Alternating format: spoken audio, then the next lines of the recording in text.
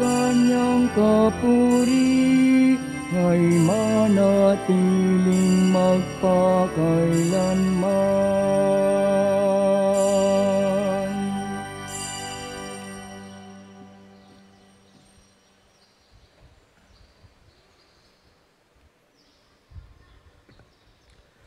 Sa ngalan ng Ama, ng Anak at ng Espiritu Santo, Amen. sumainyo ang Panginoon. At sumainyo rin. Mga minamahal na mga kapatid, ating pagsisihang lahat ang ating mga naging kasalanan. Inaamin ko Sa makapangyarihan Diyos at sa inyo mga kapatid, na lubha akong nagkasala sa isip, sa salita at sa gawa at sa aking pagkukulang, kaya isinasamo ko sa mahal na Birheng Maria, sa lahat ng mga anghel at mga banal, at sa inyo mga kapatid, na ako'y ipanalangin sa Panginoong ating Diyos. Kaawaan tayo ng makapangyarihang Diyos, patawarin tayo sa ating mga kasalanan at patnubayan sa buhay na walang hanggan. Amen. Panginoon, kawaan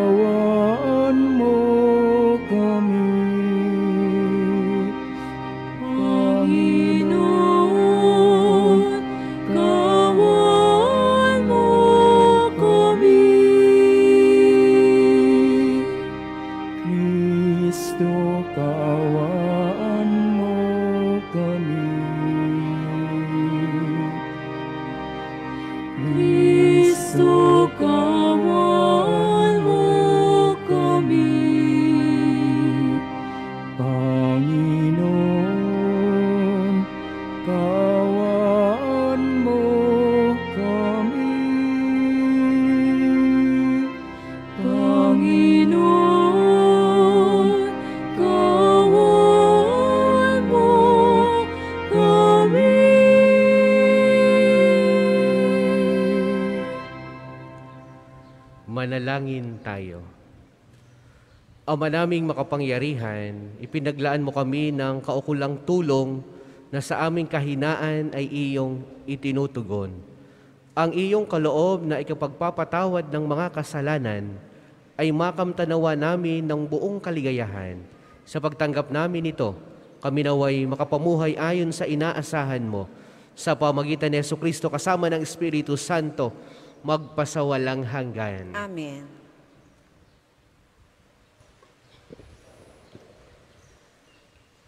Pagbasa mula sa aklat ng karunungan. Sinabi ng masasama, tambangan natin ang mga taong matuwid, pagkat hadlang sila sa ating mga balak. Ipinamumukha nila sa atin ang pagsuway sa kautusan, at sinasabing tayo'y nagkasala laban sa ating kaugalian. Ipinamamarali nilang nakikilala nila ang Diyos at sinasabing sila'y anak ng Panginoon. Sila ang nagbibigay sa atin ng mga problema. Makita lang natin sila'y balisa na tayo. Pagkat kaiba ang gawain nila at pamumuhay. Ang palagay nila sa atin ay mababang mababa at nandidiri sila sa ating gawain. At sinasabi nilang kaligayahan ng wakas ng matuwid. At ipinagmamagaling na ni sila'y anak ng Diyos. Tingnan natin kung ang salitan nila ay magkakatotoo, kung ano ang mangyayari sa kanila pagkamatay nila. Kung ang mga matuwid ay anak nga ng Diyos, sila ay tutulungan niya at ililigtas sa mga kaaway. Subukin natin silang dustain at pahirapan upang malaman natin kung hanggang saan ang kanilang kagandahang asal at kung hanggang kailan sila makakatagan. Subukin nating ibingit sila sa kamatayan. Yamang ang sabi nila ay iingatan sila ng Diyos. Yon ang usapan ng masasama. Ngunit sila'y nagkakamali pagkat binubulag sila ng kanilang kasamaan. Hindi nila natalos ang lihim na panukala ng Diyos. Hindi sila umasa sa gantimpala ng kabanalan. Hindi naisip ang magandang wakas ng malinis na pamumuhay. Ang salita ng Diyos. Salamat sa Diyos, salmong tugunan, sa Diyos hindi mabibigo ang mga nasisipayo. Sa Diyos hindi nabibigo ang mga nasisiphayo. Nililipon ng Diyos iyong masasama hanggang sa mapawi sa isip ng madla. Agad dinirinig daing ng matuwid. Iniligtas sila sa mga panganib. Sa Diyos hindi mabibigo ang mga nasisipayo. Tumutulong siya sa nasisiphayo. Ang walang pag-asa'y hindi binibigo. Ang taong matuwid, masuliranin man, sa tulong ng poon, agad maiibsan. Sa Diyos hindi mabibigo ang mga nasisipayo.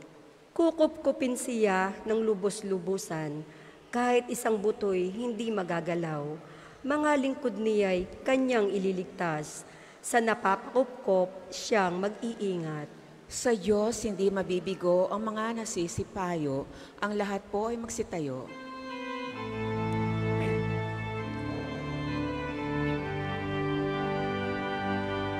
Ang tao ay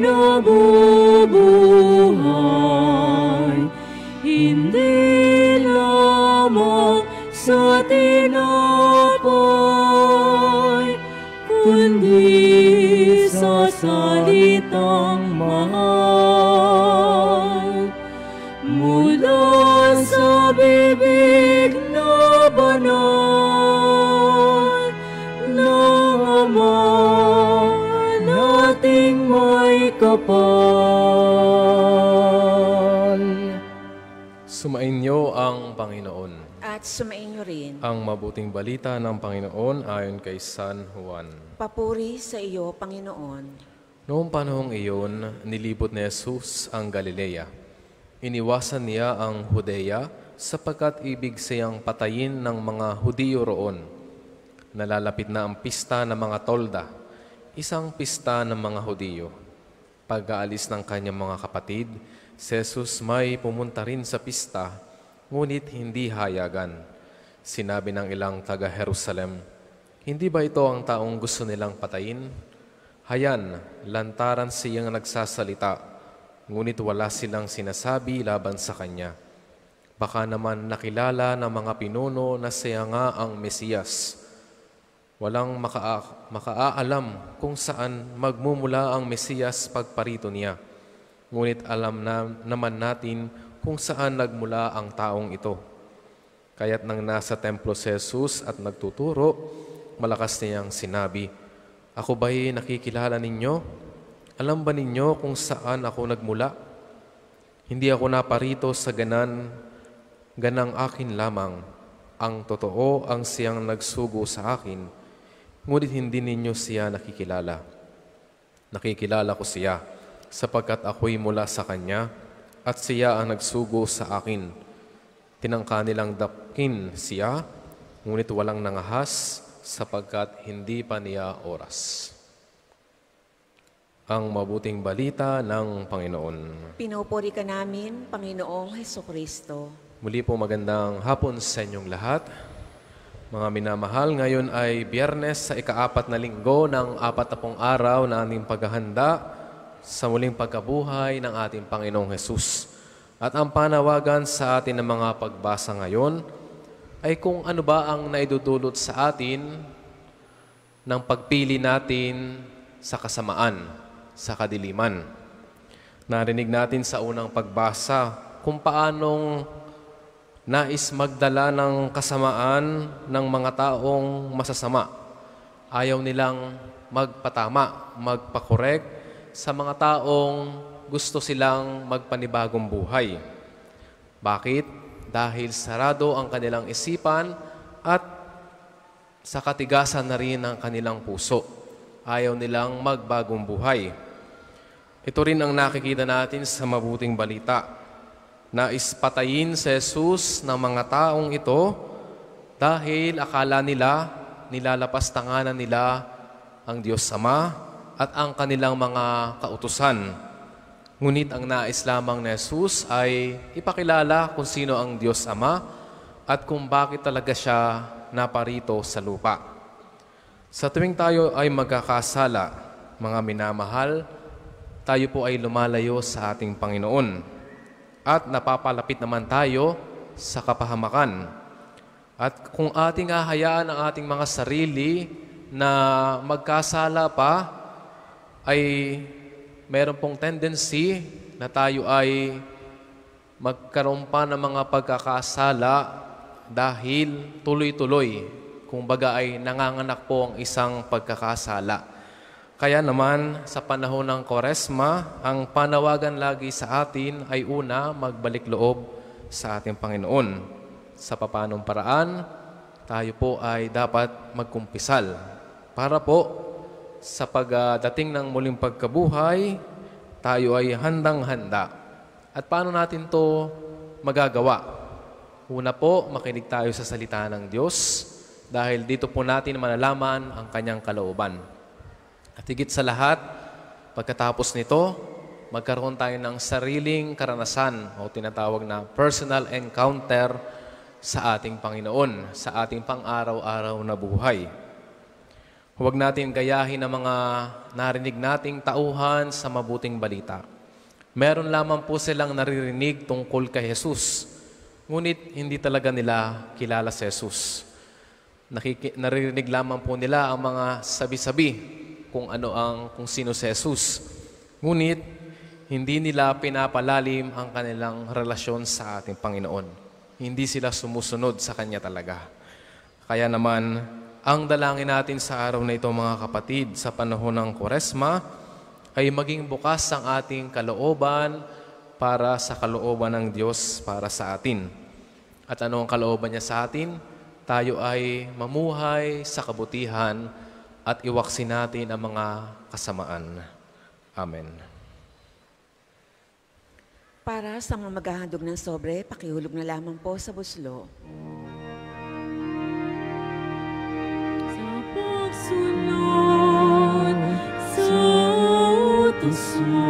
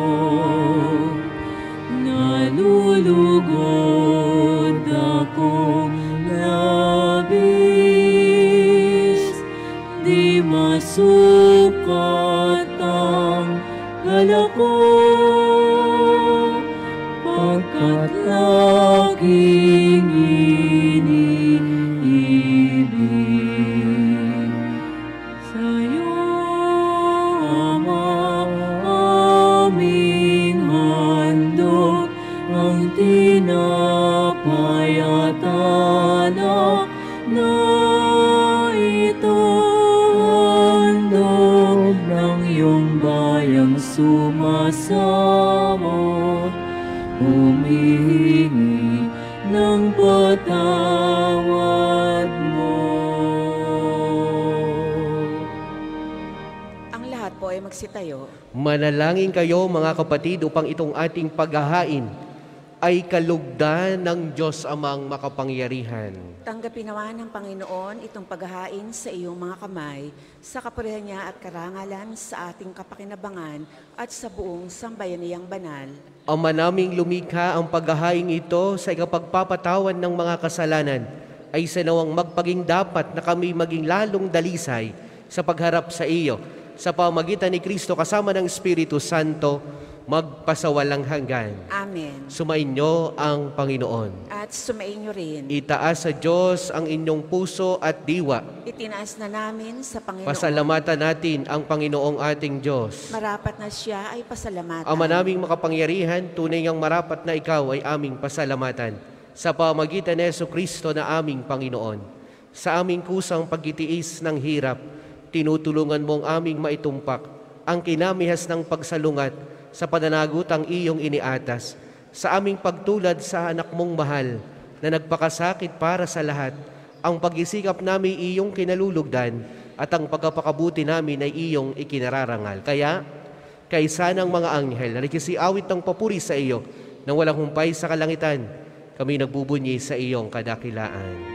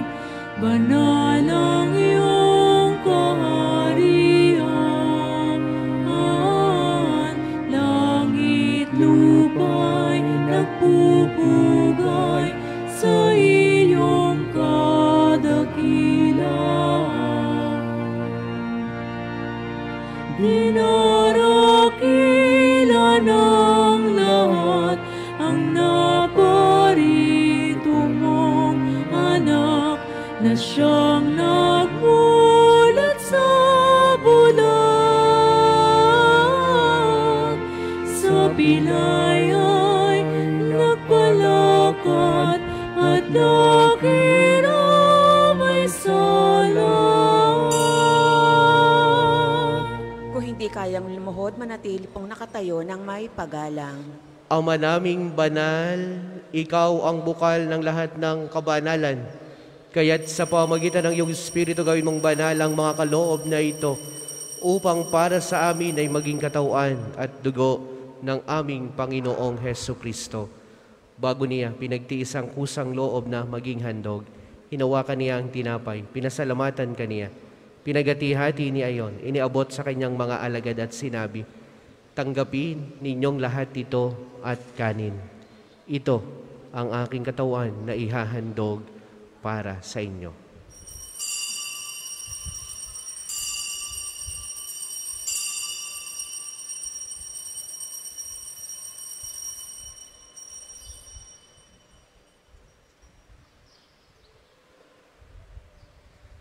Gayon din naman noong matapos ang hapunan, hinawakan niyang kalis, muli kaniyang pinasalamatan. Iniabot niya ang kalis sa kanyang mga alagad at sinabi, Tanggapin ninyong lahat ito at inumin. Ito ang kalis ng aking dugo, ng bago at walang hanggang tipan. Ang aking dugo na ibubuhos para sa inyo at para sa lahat sa ikapagpapatawad ng mga kasalanan. Gawin niyo ito sa pag-alaala sa akin.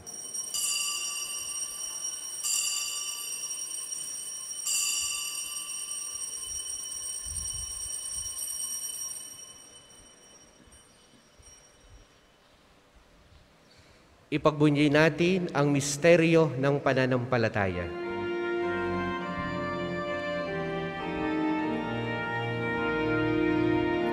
Aming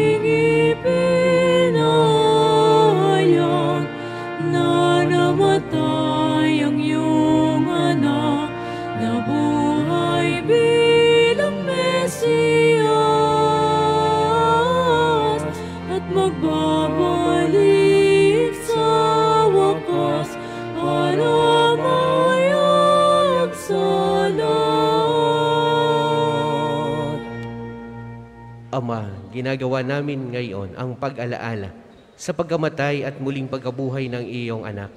Kaya tiniaalay namin sa iyo ang tinapay na nagbibigay buhay at ang kalis na nagkakaloob ng kaligtasan. Kami nagpapasalamat dahil kami iyong minarapat na tumayo sa harap mo para maglingkod sa iyo. Isinasa mo namin kaming magsasalo-salo sa katawan at dugo ni Kristo ay mabuklod sa pagkakaisa sa pamamagitan ng Espiritu Santo. Ama, lingapin mo ang iyong simbahang laganap sa buong daigdig. Puspusin mo kami sa pag-ibig kaysa ni Francisco na aming Santo Papa at ni Gilbert na aming Arsobispo at ng lahat ng kaparian. Alalahanin mo rin ang mga kapatid naming nahimlay nang may pag-asang sila'y muling mabubuhay, gayon din ang lahat ng mga pumanaw. Kaawaan mo sila at patuloyin sa iyong kaliwanagan. Kaawaan mo at paging dapatin kaming lahat na makasalo sa iyong buhay na walang wakas. Kaysa ng mahal na Berhing Maria na ina ng Diyos, ni San Jose na kanyang kalininisang esposo, kaysa ng mga apostol at ng lahat ng mga banal na namuhay dito sa daigdig ng kalugod-lugod sa iyo. May pagdiwang nawa namin ang pagpupuri sa ikararangal mo sa pamagitan ng iyong anak na aming Panginoong Heso Kristo. Sa pamagitan ni Kristo, kasama niya at sa Kanya, ang lahat ng parangal at papuri ay sa iyo, Diyos amang makapangyarihan, kasama ng Espiritu Santo, magpasawalang hanggan. Amen. Amen. Amen. Ang lahat po ay magsitayo. Tayong lahat, awitin natin ang Ama namin.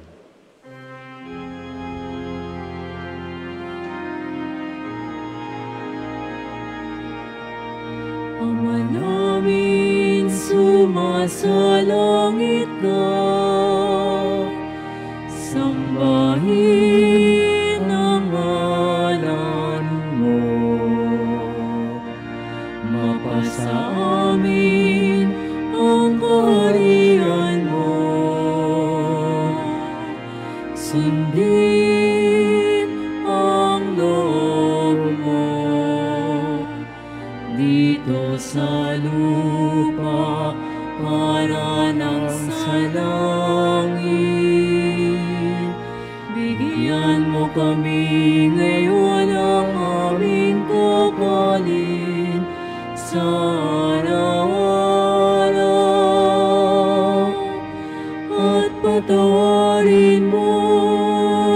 Kami sa aming mga sala para na pagpapatawad namin sa nakakasala sa amin. At huwag mo kaming ipaintulot sa tukso at ihadya mo kami sa lahat ng masama. Hinihiling namin kami adya sa lahat ng masama, pagkalooban ng kapayapaan araw-araw. Iligtas sa kasalanan at ilayo sa lahat ng kapahamakan. Samantalang aming pinananabikan ang dakilang araw ng pagpapahayag ng tagapagligtas naming si Heso Kristo. sapagkat iyong kaharian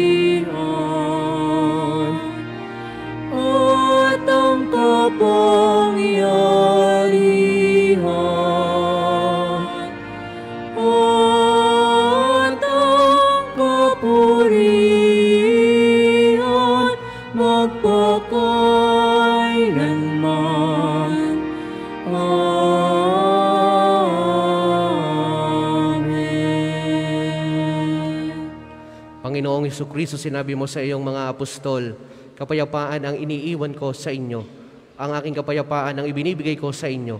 Tunghayan mo ang aming pananampalataya at huwag ang aming mga pagkakasala.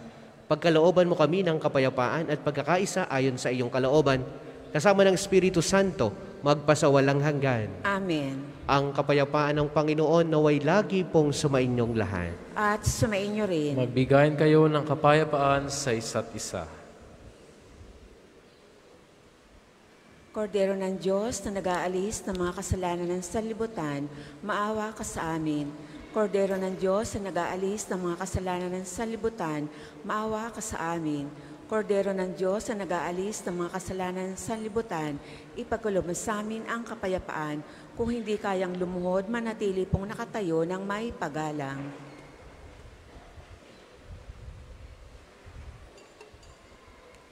Ito ang kordero ng Diyos, ito ang nag-aalis ng kasalanan ng sanlibutan. Mapalad ang mga inaanyayahan sa kanyang piging.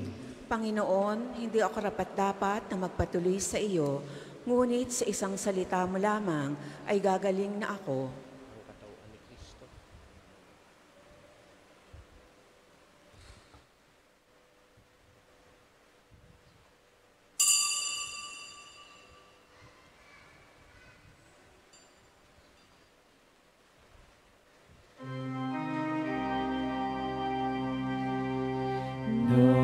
Dakilang pag-ibig saan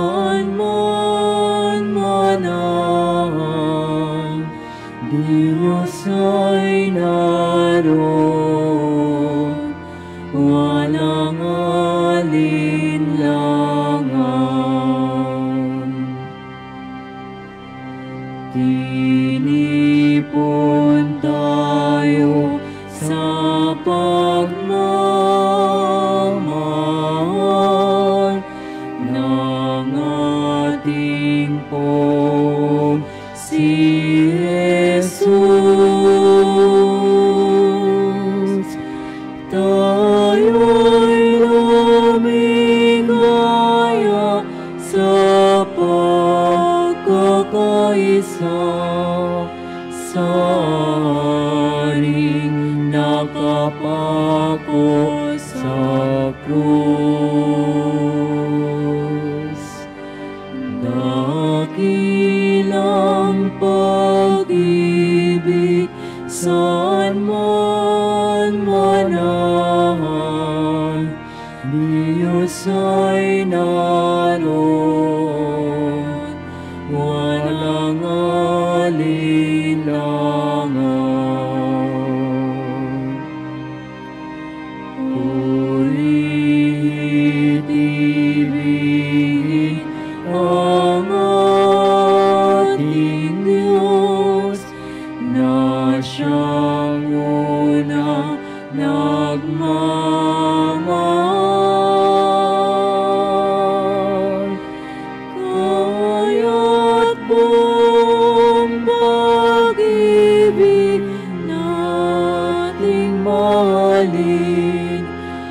ang bawat kapatid at kapwa.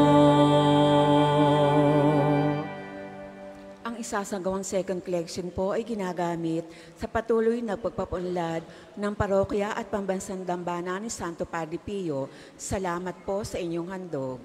Dakilang pag-ibig saan man manahan, Diyos ay naroon, walang alinlangan.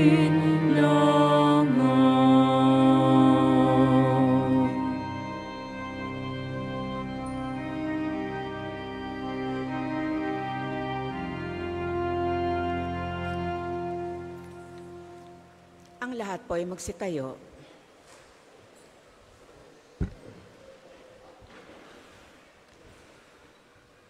Manalangin tayo.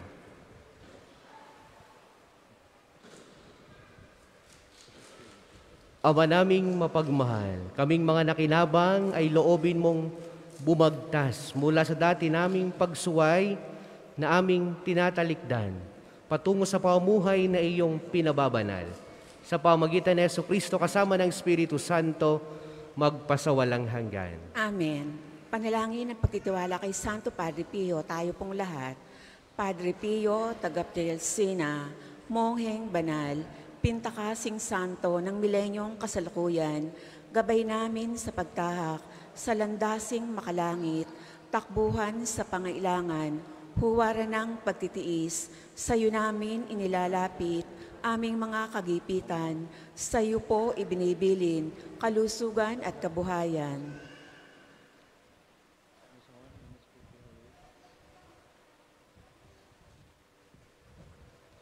Di man karapat-dapat, kami po ay pagbigyan, bendisyonan at basbasan, maging ganap sa buhay. Lumayo nawa kami, umiwas sa kasalanan, lumapit lagi sa Diyos, maging matatag at matibay, sa mabuting balita ng pagliligtas, turuan mo kami nawa, sa tuwina ay makinig, magnilay at sumampalataya, amin pong pakiusap, itong mga kahilingan, Puso ay nagsisisi, nagtitikang taimtiman, di na muling magkasala, sunod lagi sa Diyos Amang, kaisa ng Espiritu, at ni Jesus na tagapamagitan. Amen. Magsiupo mo na po ang lahat para sa mga patalastas. Una sa inyong pagdalaw sa pambansang Dambana, mangyaring pakaingatan ang inyong mga personal na gamit, hangad namin ang isang matiwasay at maayos na pagbisita sa National Shrine. Nagpapatuloy po ang pagpapakumpisal sa buong panahon ng Kwaresma mula lunes hanggang Sabado. Ito ay sa iksampu ng umaga hanggang ikalabindalawa ng tanghali at sa ikatlo hanggang ikalima ng hapon sa Chapel of Reconciliation. Wala pong pagpapakumpisal ng Sabado ng hapon at sa araw ng linggo. Gayon din naman, sa lahat ng araw ng biyernes ngayong Koresma ay magsasagawa tayo ng pagdarasal ng Istasyon ng Cruz sa ganap na ikatlo ng hapon. Available po ang mga aklat dasalan sa ating mga tindahan. Kayo pong lahat ay inaanyayahang makiisa. Ikalima, mga kapiyo, bahagi ng pagdiriwang ng araw ni Padre Pio ngayong ikadalawamput lima ng Mayo, tayo ay magkakaroon ng car raffle dito sa Pambansang Dambana. Ito ay fundraising program upang matulungan ang ating mga scholar ni Pio. Maaari kayo makabili ng tickets sa pamisahan sa HR's office at sa mga nakistasyon sa paligid ng simbahan sa halagang 500 piso lamang. Panoorin po natin ito. Mga kapatid, manalangin tayo sa Diyos amang makapangyarihan upang tayo ay maging kawangis ni Kristo sa taimtim na pagdalangin sa tulong ng mga larawan at mga dasalan. Inyong ilabas ang inyong mga pabeblesan. O Panginoong Diyos, Ikaw ang bukal ng lahat ng pagpapala at biyaya. ibuhos mo ang iyong bendisyon sa mga gamit na ito sa pananalangin, mga rosaryo, mga imahin, mga dasalan, mga langis na nagpapaalaala ng iyong kabutihan, kabanalan at pagmamahal sa amin upang ang lahat ng dumulog at magdasal gamit ang mga ito ay magtamo ng iyong awa at biyaya. Loobin mong tularan nawa nila ang kabanal at aral ng Panginoon at ng mga santo magpasawalang hanggan. Amen. Ama namin, sumasalangit ka, sambahin ang ngalan mo, mapasa amin ang kaharian mo, sundin ang loob mo dito sa lupa para ng sa langit. Bigyan mo kami ngayon ng aming kakanin sa araw-araw at patawarin mo kami sa aming mga sala para ng pagkapatawad namin sa nagkakasala sa amin at huwag mo kami ipahintulot sa tukso at iadya mo kami sa lahat ng masama. Amen. Abagi noong Maria, napupuno ka ng grasya, ang Panginoong Diyos ay sumasa iyo, bukod kang pinagpala sa babaeng lahat, at pinagpala naman iyong anak na si Jesus. Santa Maria, Ina ng Diyos, ipanalangin mo kaming makasalanan, ngayon at kami mamatay. Amen. Abagi noong Maria, napupuno ka ng grasya, ang Panginoong Diyos ay sumasa iyo, bukod kang pinagpala sa babaeng lahat, at pinagpala naman iyong anak na si Jesus. Santa Maria, Ina ng Diyos, ipanalangin mo kaming makasalanan, ngayon at kung kami mamatay. Amen. Luwalhati sa Ama, sa Anak at sa Espiritu Santo, kapara nung una ngayon at magpasawalang hanggan. Amen. Sumainyo ang Panginoon. At sumainyo rin. At pagpalain kayong lahat ng makapangyarihang Diyos, ang Ama, ang Anak at ang Espiritu Santo. Amen. Ang banal na misa'y naialay na, humayo kayong mapayapa. Salamat sa Diyos.